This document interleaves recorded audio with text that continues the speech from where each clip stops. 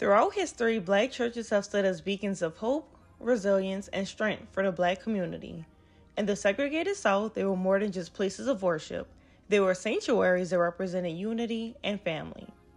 The Moses Baptist Church and Allen Chapel AME Church are two historic institutions that have offered education, spiritual guidance, and opportunities for the local black population to gather. During the era of the Chitlin Circuit, music wasn't just heard, it was felt experienced, and cherished.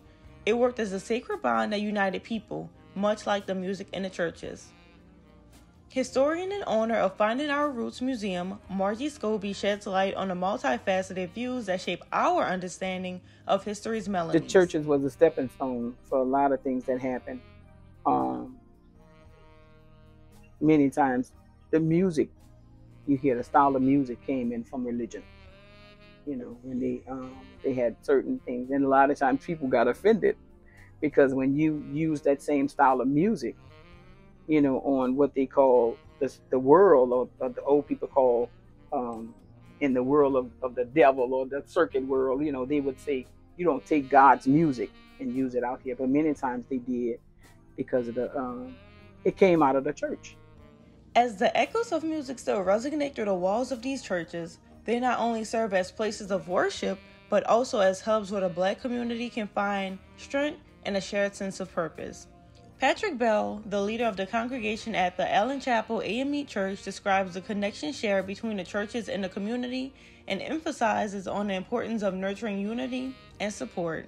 Uh, we got some very talented people in our churches, um, but unfortunately, they had not been given opportunity or had not pursued opportunities where they can really uh, do some uh, great work. You know, because sometimes they feel unworthy, or sometimes they uh, the, the, opportunity they just don't know that the opportunities exist. And so, uh, and that's why it's important that we, the church, does those kind of things, particularly for those of us that are pastors or people that are leaders in the churches. When we have access to those kind of resources, that we share them with with the church and with the community. So I believe the church serves as the hub for the community.